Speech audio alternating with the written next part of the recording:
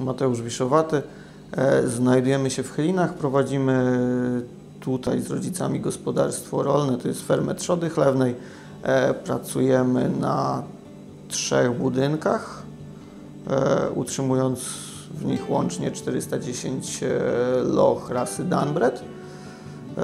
Gospodarstwo pracuje w cyklu pięciotygodniowym i produkujemy warchlaki w cyklu otwartym.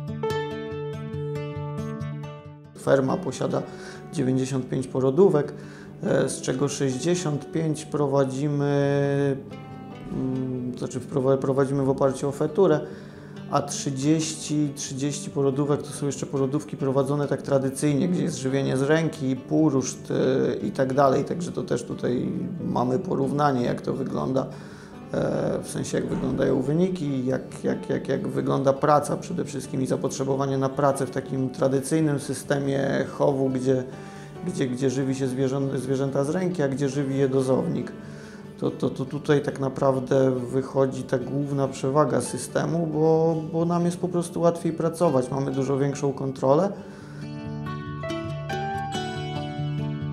Najbardziej takim zajmującym elementem na, na, na, na budynku jest w ogóle wprowadzenie zwierząt, bo, bo, bo, bo wprowadzamy zwierzęta i musimy je przyuczyć do korzystania ze stacji żywieniowych.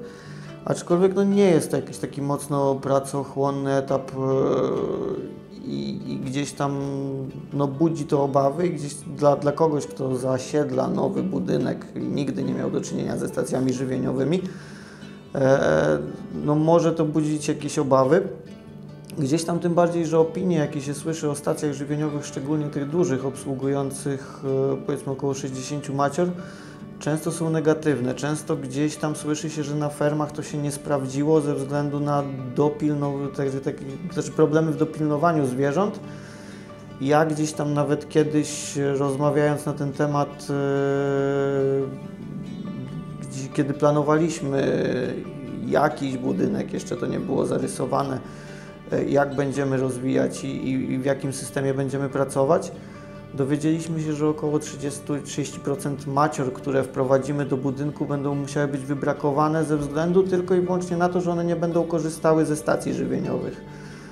No i tutaj była obawa, gdzieś tam e, ze strony, no we stronu, żeśmy zostali poinformowani, znaczy uspokojeni, że, że, że, że mają rozwiązanie, które jest inne, gdzieś tam pomiędzy e, takim tradycyjnym żywieniem e, z dozowników, a tymi dużymi stacjami, czyli właśnie te małe stacje żywieniowe, które u nas są wykorzystywane. No i muszę powiedzieć, że te wprowadzenia wyglądają dosyć gładko. Trzeba podejść do tego ze spokojem, bo trzeba dać e, tym zwierzętom około tygodnia. Eee, niestety no, one muszą zrobić się głodne, żeby wejść do, do, do stacji, aczkolwiek e, nie wybrakowaliśmy żadnej e, sztuki ze względu na to, że nie potrafiła korzystać ze stacji.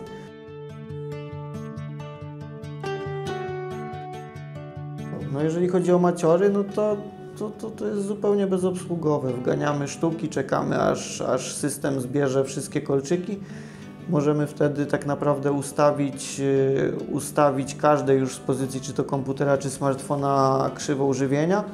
Możemy gdzieś je zmodyfikować o jakieś pojedyncze sztuki, które, które gdzieś tam odbiegają od, od tej normy, którą my, my chcemy mieć na końcu. I to tyle.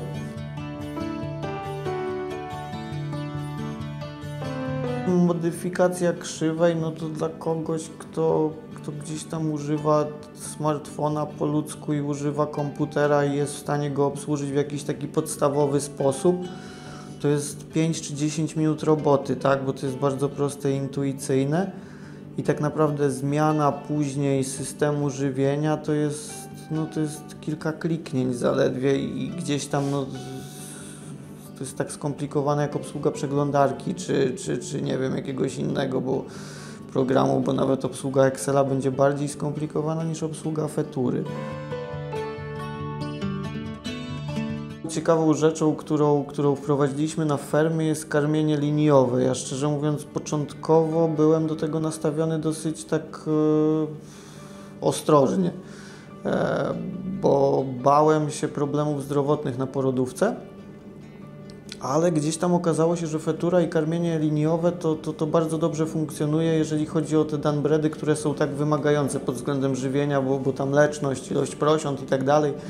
E, to tutaj karmienie liniowe załatwia nam problem, e, problem e, kondycji, a jednocześnie fetura zabiera z nas obowiązek takiego mocnego kontrolowania wyjadania skoryt, bo, bo gdzieś tam takim głównym problemem, który występuje przy karmieniu liniowym, wprowadzanym na tradycyjnych dozownikach jest to, że te zwierzęta nie do końca wyjadają swoje porcje, ta pasza zalega, psuje się i gdzieś tam stąd możemy mieć podwyższone jakieś zwiększone problemy zdrowotne loch e, i gdzieś tam no, te wszystkie problemy okołoporodowe, które lubią u nich występować.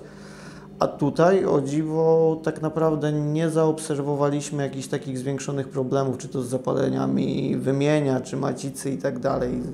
No, to wszystko, co, co gdzieś tam jest generowane około żywieniowo uloch e, i to, czego tak naprawdę wszyscy się obawiają, wprowadzając karmienie liniowe, to, to tutaj, tutaj fetura to załatwiła. Nie ma też marnowania paszy, no to wymiar ekonomiczny tak naprawdę.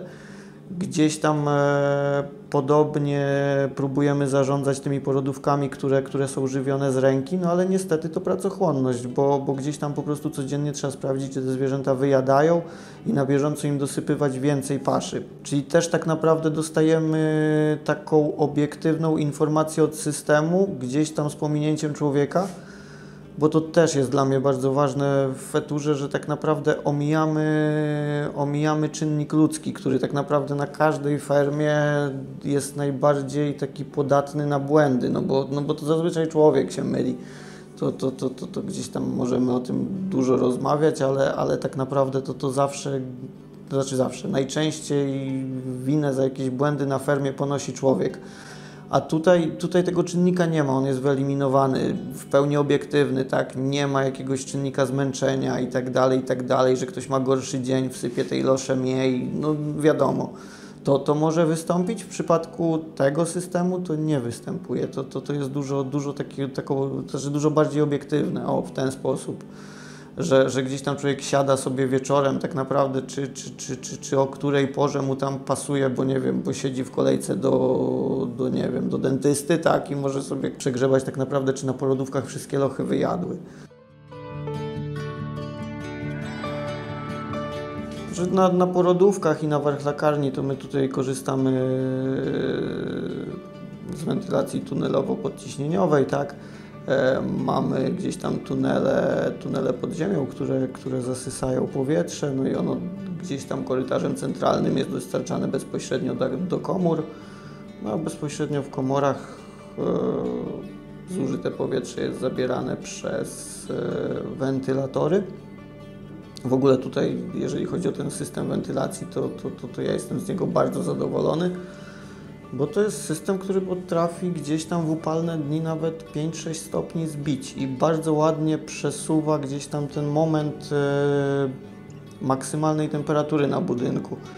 E, czyli powiedzmy, jeżeli mamy taki mocno upalny, tak, takie, takie dni występują, co prawda nie ma ich aż tak bardzo dużo, ale mówię o takich krytycznych temperaturach, gdzie na dworze jest powiedzmy 36 stopni, i wtedy zaczynają się często problemy ze względu na przegrzanie, no bo mamy porodówki, gdzie, gdzie gdzieś tam, no o ile prosiętom jest dobrze, to lochom nie za bardzo w 36 stopniach, a i na warchlakarni też tak naprawdę te przyrosty mogą zostać już przez takie temperatury ograniczone.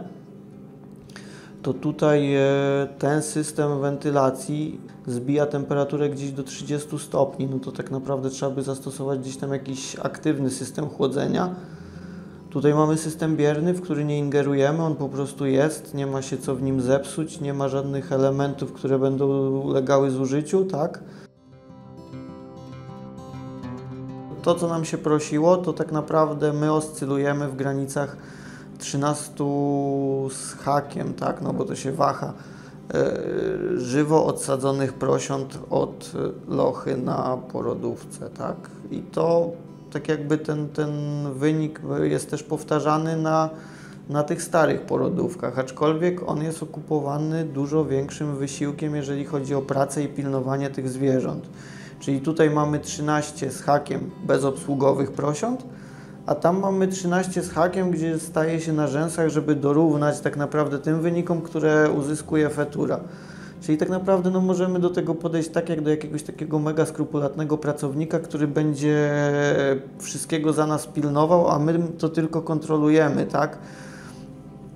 Czyli te wyniki, no, mimo tego, że są porównywalne, no to jest duża korzyść fetury, no bo to jest, to jest taki dodatkowy pracownik, tak? No, nie wyobrażam sobie obsługi 95 porodówek, takich jak mamy w tej starej części, no bo nie utrzymalibyśmy wtedy tych wyników ze względu na to, że, że trzeba by mieć więcej pracowników, te koszty pracy by wzrosły, tak? A tutaj mamy system, który to wykonuje za nas. I mimo tego, że ten wynik będzie porównywalny zupełnie szczerze, to, to jestem pewien, że przy dużej ilości stanowisk nie jest e, nawet najlepszy kierownik czy najlepszy właściciel e, w stanie tego obsłużyć do tego stopnia i tak wykorzystać potencjału zwierząt. Ferma jest w trakcie rozbudowy, w zasadzie ferma, druga ferma, bo to gospodarstwo podzielone, tak, część, e, część rodziców, część teraz e, nowo budowany budynek już, już na mnie, tak, na 300 T60 loch. Tak naprawdę będzie wykonywany dokładnie w tej samej technologii co poprzedni. Wszystkie obawy, które gdzieś tam były wcześniej, no to tutaj już zostały rozwiane, tak? Od roku to wszystko pracuje i działa, robi swoją robotę, robi ją świetnie. I tak naprawdę to, to, to, to gdzieś tam jakimś naturalnym wyborem było dla mnie to, że idziemy w to głębiej, tak? Czyli, czyli tak naprawdę budujemy fermę na podstawie fetury i z wykorzystaniem całego systemu. I to tak dosyć głęboko, bo, bo, bo, bo budynki w pełni obsługiwane przez feturę, nie jakoś tam wybiórczo. System sobie radzi przy tak wy, wymagającej genetyce, jak, jaką jest Danbred, tak? Bo, bo, gdzieś tam często też się słyszy o tym, że, że, że fajnie, bo Danbred rodzi dużo, ale żeby sobie poradzić z tymi żywo urodzonymi słabymi prosiętami, to, to, to już naprawdę to jest taka wyższa szkoła jazdy. Jak dla mnie, no to ja, ja w to wchodziłem pierwszy raz, bo, bo, bo, bo, bo, bo, bo to był mój początek gdzieś tam na tej, na tej fermie, też z tą rasą początek. Aczkolwiek no, tutaj okazało się, że tak naprawdę feturat na tyle to ułatwia i na tyle gdzieś tam pozwala z tym pracować yy, i nie marnować całego potencjału fizjologicznego tych zwierząt że, że czymś naturalnym wydawało się to, że robimy kolejny budynek, który będzie dokładnie taki sam, tylko że większy, no bo to tam gdzieś tam apetyt rośnie w miarę jedzenia. Aczkolwiek no myślę, że Myślę, że, że, że gdzieś tam no, system podoła tak samo jak i my podołamy i, gdzieś, tam, gdzieś, tam, gdzieś tam przyczyni się do, do, do konkurencyjności tej, tej fermy. Przynajmniej fajnie by tak było.